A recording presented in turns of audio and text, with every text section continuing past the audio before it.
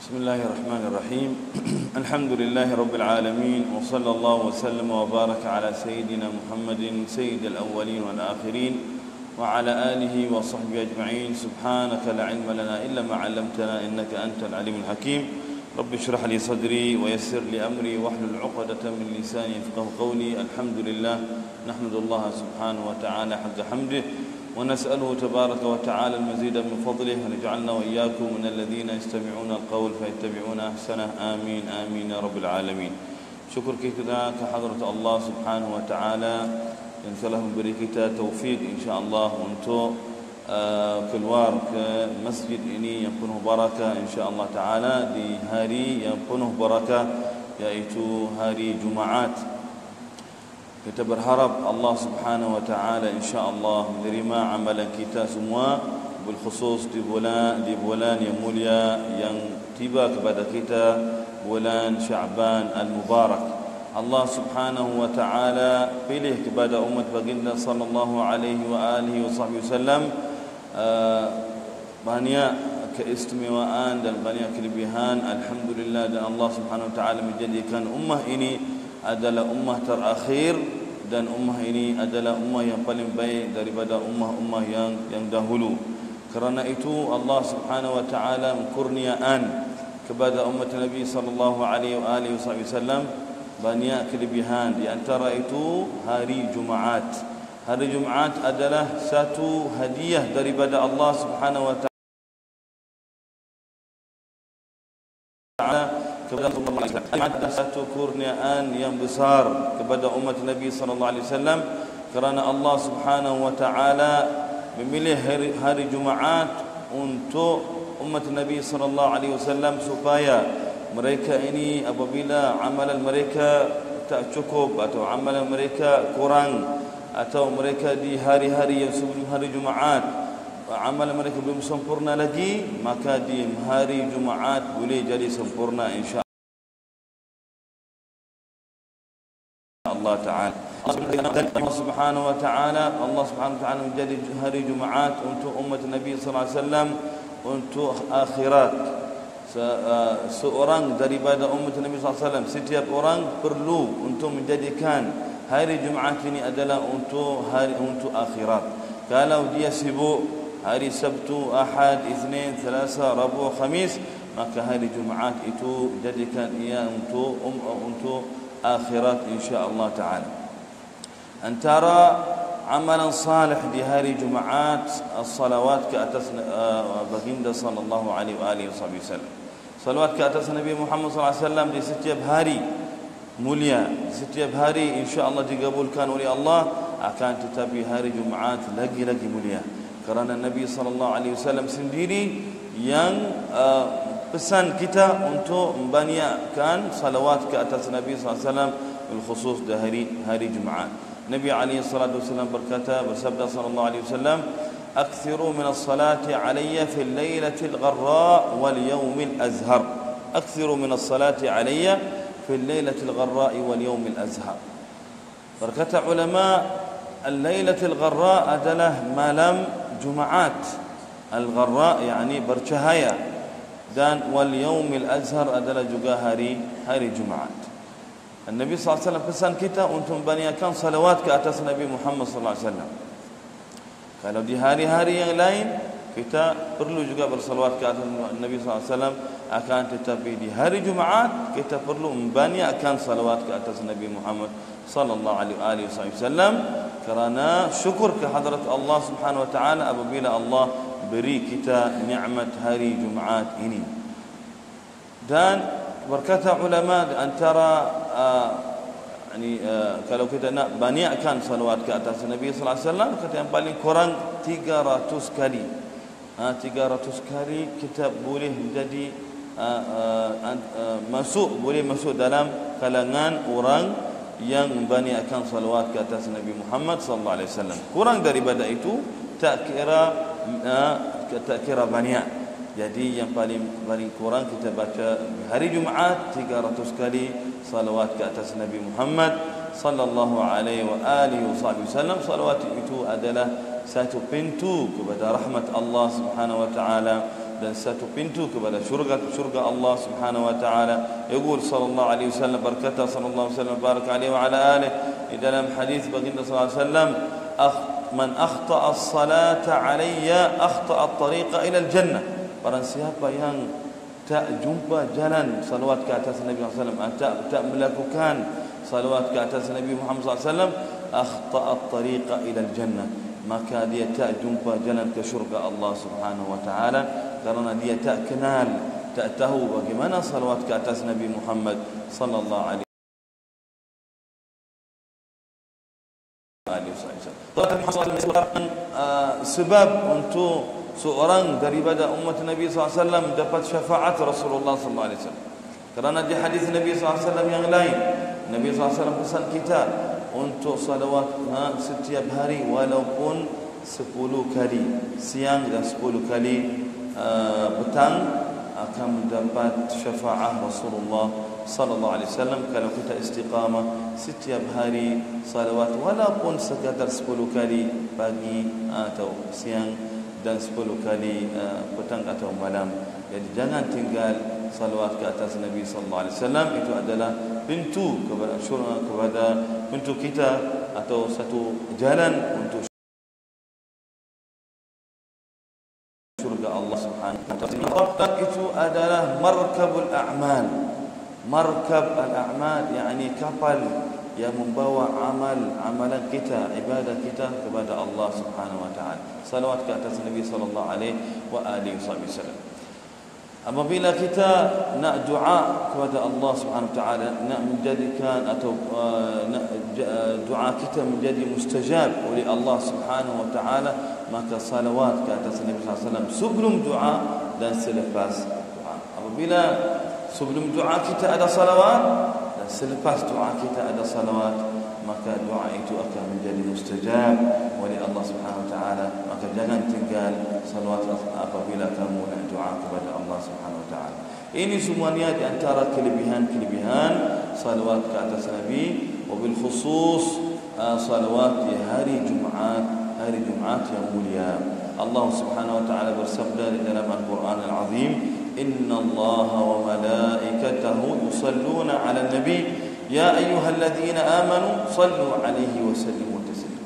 الله بريته كتاب لتنام القرآن الله بالفرمان إن الله وملائكته سسنطهني الله دان ملائكة برسالات كأتاس نبي محمد صلى الله عليه وسلم الله وملائكته يصلون على النبي صلوات الله سبحانه وتعالى لا يدري بدا صلوات كتاب Allah salawat ke atas Nabi maknanya Allah merahmati Rasulullah sallallahu alaihi wasallam.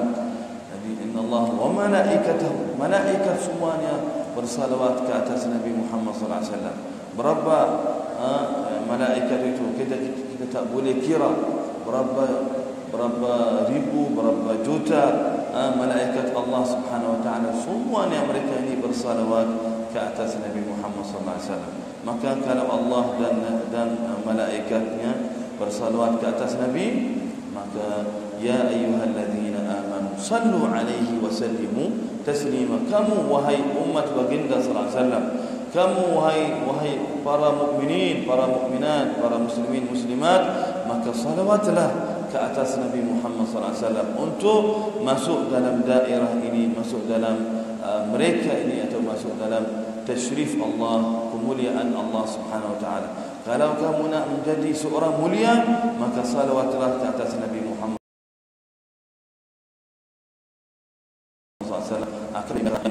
adalah Allah uh, yang maha zat yang maha uh, uh, agung dan uh, malaikat Allah Subhanahu wa taala.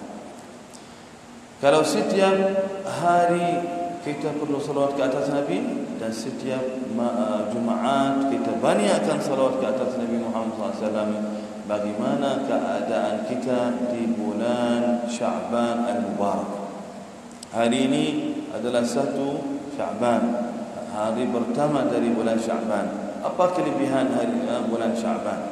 Antara kelebihan-kelebihan bulan Syaban al-Mubarak, Allah Subhanahu wa taala memilih bulan Syaban. Uh, Allah turunkan ayat ini yang tadi saya baca, Inna Allah wa malaikatahu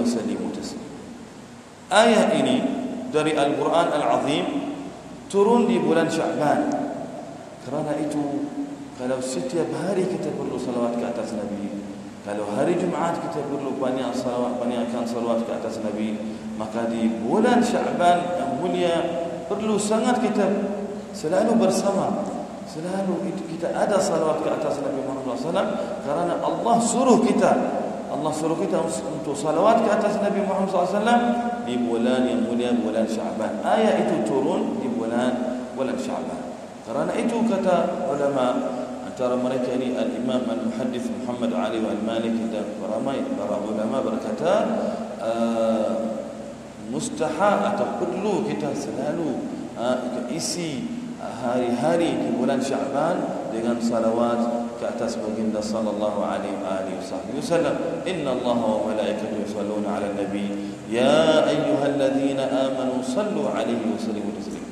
setiap hari Jumaat kita dengar ayat ini. Khatib Jumaat akan baca ayat ini. Inna allaha wa malaikatahu yusalluna ala nabi. Ya ayyuhalladzina amanu sallu alaihi wa sallimu taslima akan mengingati kita akan mengingat kita untuk selalu bersalawat ke atas Nabi Muhammad sallallahu alaihi wa alihi wasallam. Ini turun di bulan Syaban al-Mubarak. Ini kira di antara kelebihan-kelebihan bulan bulan Syaban. Antara kelebihan-kelebihan bulan Syaban al-Mubarak, kita berada di hari pertama bulan Syaban. Antara itu juga Allah Subhanahu wa taala أتو نبي محمد صلى الله عليه وسلم بغي توقيته الله سبحانه وتعالى ملائكة أكن تنجو كان الله سبحانه وتعالى عملا كتا تبدا الله سبحانه وتعالى تعرض الأعمال على الله في شهر شعبان المعظم عملا كتا أكن لتنجو تبدا الله سبحانه وتعالى لبولان شعبان عرض الأعمال إني كتا برا علماء ملائكة كان تنجو كان عملا كتك بدا الله سبحانه وتعالى هذا عرض آه، سنوي عرض سنوي معنى ست يبتهون هذا ملائكة كان تنجو كان عملا تهون كبدا الله دي ولان دي ولان شعبان. جوجا هناك عرض شهري عرض أسبوع أسبوعي وهناك عرض يومي على الله سبحانه وتعالى جديد هذا تهونان. Dan ada mingguan dan ada juga hari akan malaikat akan tunjukkan kepada Allah Subhanahu wa taala. Para sahabat Nabi Muhammad sallallahu alaihi wasallam uh, tanya Rasulullah SAW, kenapa kami melihat Rasulullah yang paling banyak puasa di bulan Syaban al-Mu'azzam. Nabi SAW di bulan Syaban banyak puasa. Sehingga berkata sahabat, sehingga kami tak tahu adakah Rasulullah uh, ada adakah berapa hari Rasulullah tinggal atau semuanya Nabi SAW puasa banyakkan uh, uh, puasa di bulan bulan Syaban itu amalan Rasulullah SAW dan juga itu pilihan Rasulullah SAW di bulan di bulan Syaban dan Rasulullah tak suruh kita untuk puasa Syaban semuanya akan tetap ada hikmah kenapa Rasulullah banyakkan puasa di bulan di bulan Syaban. Kerana Nabi SAW berkata di dalam hadis juga hadis yang lain, tu'raful a'mal Kerana ini, kerana amalan kita akan tunjukkan kepada Allah, jadi uh, kita perlu untuk amal amal salih. Antara amalan itu salawat ke atas Nabi Muhammad sallallahu alaihi wasallam, uh, salat kepada Allah Subhanahu wa taala, puasa di, di bulan tersebut dan sebagainya.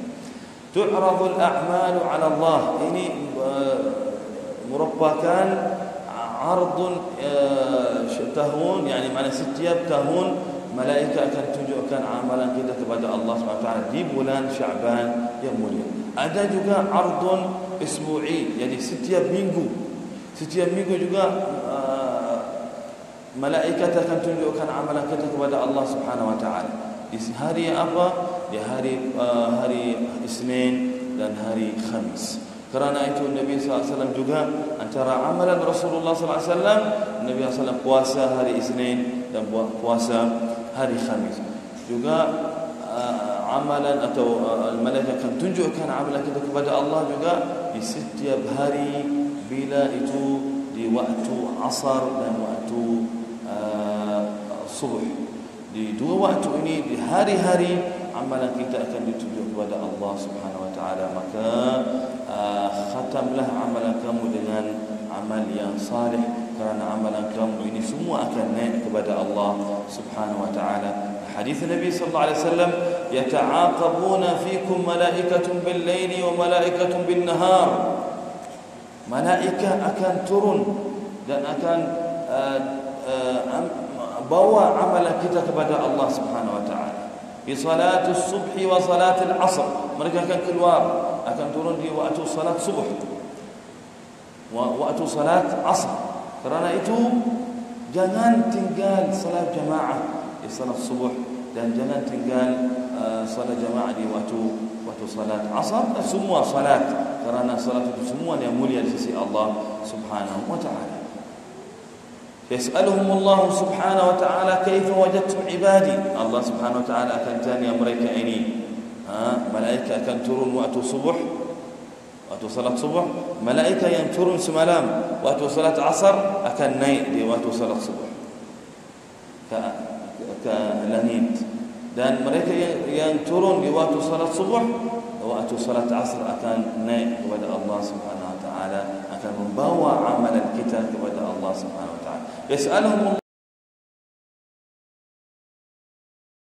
kaifa wajadtum ibadahu wa taraknahum wa hum yusallun masyaallah kami turun kepada mereka kami jumpa mereka dan mereka ni sedang bersalat yani salat salat uh, salat uh, subuh dan kami tinggal mereka juga mereka salat ana salat salatul asr jadi masya-Allah tabarakallah uh, perlu kita selalu menjaga amal yang saleh dan tawajjuh kepada Allah Subhanahu wa taala dan juga menjaga salat berjamaah dalam masjid dan kita ingat selalu amalan kita ini akan ditunjuk oleh Allah Subhanahu wa taala Jangan tinggal taubah kepada Allah dan uh, istighfar kepada Allah Subhanahu wa taala. Kalau di antara amalan para salihin, para salafus salih di bulan Rajab al-Mubarak mereka banyak akan beristighfar kepada Allah Subhanahu wa taala.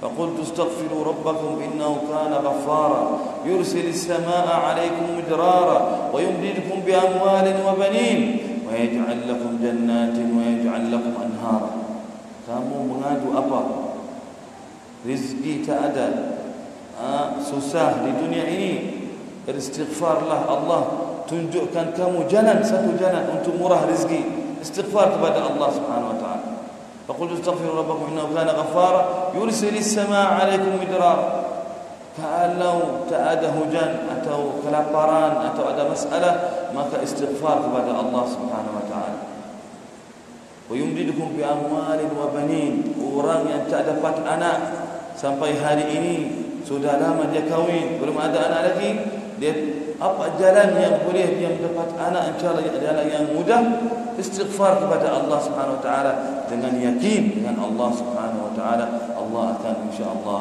memudahkan urusan kamu dan beri kamu insyaallah anak yang saleh insyaallah taala jadi antara ini kelebihan istighfar antara salafus salih amalan mereka mereka beristighfar di bulan Rajab al-Mubarak.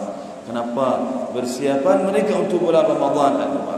Jadi kalau sudah habis bulan Ramadan, berarti hari ini masuk bulan Syaban al-Mubarak, mereka mula uh, banyakkan uh, mereka tiga perkara mereka melakukan. Yang pertama salawat ke atas Nabi Muhammad sallallahu alaihi wasallam kerana salawat itu ayat itu turun di bulan Syaban innallaha wa malaikatahu yusalluna 'alan nabi Ya ayyuhalladzina amanu sallu alaihi wa sallimu taslima. Yang kedua, mereka banyakkan baca membaca Al-Quran. Biasa setiap hari-hari hari-hari mereka baca Al-Quran akan tetapi di bulan Syaban Al-Mubarak mereka banyakkan uh, baca Al-Quran. Uh, kenapa? Bersiapan. Mereka bersiap sedia untuk bulan bulan Ramadan. Nanti kalau masuk bulan Ramadan, malam pertama bulan Ramadan, hari pertama bulan Ramadan mereka sudah siap sudah biasa baca setiap hari beberapa juzuk jadi sebelum Ramadan sudah ada praktis sudah sedia untuk nanti kalau masuk Ramadan sudah biasa dia uh, sudah biasakan diri untuk membanyakkan baca Al-Quran. Antara juga amalan mereka juga tujuh kepada Allah dan taubat dan uh, rujuk kepada Allah Subhanahu wa taala. Nas'al Allah Subhanahu wa taala taufiq lana wa ajma'in. Maka sudah tiba kepada kita bulan yang mulia bulan yang yang uh, muazzam wa taala Allah taala beri kurniaan kepada kamu wahai seorang yang daripada umat Nabi Muhammad sallallahu alaihi wasallam. Maka banyakkanlah salawat ke atas Nabi Muhammad sallallahu alaihi wasallam khususnya di hari Jumaat yang mulia dan bulan yang mulia bulan Syaban dan juga banyakkan baca Al-Quran. Uh, kalau sebelum ini belum biasa lagi di rumah kamu tak selalu baca di masjid maka buatlah di rumah kamu ke baca Al-Quran biasa buat satu majlis satu uh, halaqah ilmu tadarus tadarus dan sebagainya. Walaupun sehari baca satu muka surat. Hidupkan sunnah Nabi Muhammad sallallahu alaihi wasallam. Sekarang ini kita banyak umat uh, sunnah hidupkan sunnah Nabi Muhammad sallallahu alaihi wasallam. Di zaman uh, sekarang kita ini banyak sunnah Nabi sallallahu alaihi wasallam sudah mati. Dalam dalam rumah kita sudah menjadi satu contohnya uh, sudah menjadi itu setiap uh, rumah ada contohnya ada TV jadi sudah jadi biasa. Setiap orang sibuk dengan TV akan tetapi kita apakah uh, kita fikir uh, bagaimana kurangan atau bagaimana rumah-rumah kita ini kurang atau gelap kerana tidak ada sunnah Nabi Muhammad sallallahu alaihi wasallam kita adakah kita selalu duduk bersama keluarga bersama anak-anak membaca al-Quran. Kalau si ayah itu uh, boleh baca al-Quran maka bagi anak ha, tak cukup kita hantar mereka ke sekolah sekarang saja atau ke madrasah maka kumpulkan mereka di rumah. Adakan satu halaqah dalam rumah ha, baca al-Quran bersama. Kamu baca dan uh, boleh Uh, tolong mereka apabila mereka tak pandai tak mahir baca Al-Quran itu satu sunnah Nabi Muhammad SAW uh, rumah kamu ini akan menjadi rumah yang bercahaya. Uh, di sisi Allah Subhanahu Wa Taala Nabi Sallallahu Alaihi Wasallam beri kita satu khabar gembira kepada kita ini umat Nabi Sallallahu Alaihi Wasallam apabila rumah kita bercahaya dengan Al-Quran Ibu Sallallahu Alaihi Wasallam di hadis Sallallahu Alaihi Wasallam البيت الذي يقرأ فيه القرآن يتراءى لأهل السماء كما تتراءى النجوم لأهل الأرض. ما شاء الله. رمه يعني أتدلمني حلقة القرآن. أتو أوران باتش القرآن. أتو كل ورقة إني سموني إيبو آية. أنا أنا سموني باتش القرآن.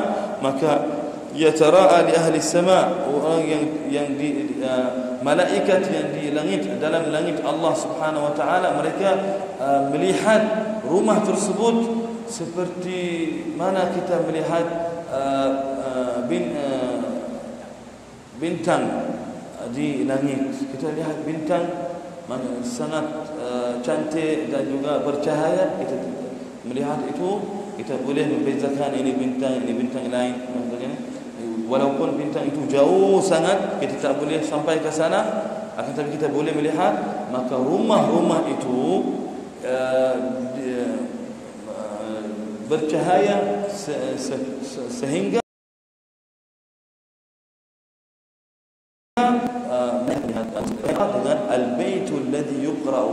al-Quran. Rumah itu yang ada dalamnya orang membaca Al-Quran maka jangan tinggal sunnah Nabi sallallahu alaihi wasallam. Bacalah al-Quran insyaallah dan amal dan bersungguh-sungguh dalam bulan Syaban ini dengan amalan ibadah banyak untuk bersiap untuk bulan Ramadan mubarak. Allahumma waffiqna li kulli khair واجعلنا من أهل الخير. اللهم علمنا ما ينفعنا. الحمد لله رب العالمين. اللهم صل وسلم وبارك على سيدنا محمد وعلى آل سيدنا محمد. اللهم تب علينا وعلى جميع الحاضرين توبة نصوحه زكنا بها قلبا وجسما وسرا وروحا. ولا تحرمنا خير ما عندك لشر ما عندنا. وفقنا لكل خير واجعلنا من أهل الخير. ومن علينا بكمال حسن الخاتمة. بعد طول العمر في طاعتك ورضاك وصلى الله وسلم وبارك على سيدنا محمد وعلى آله وصحبه وسلم والحمد لله رب العالمين. وجزاكم الله خير. kalau ada ada apa salah silap dari saya وجزاكم الله خير والحمد لله رب العالمين.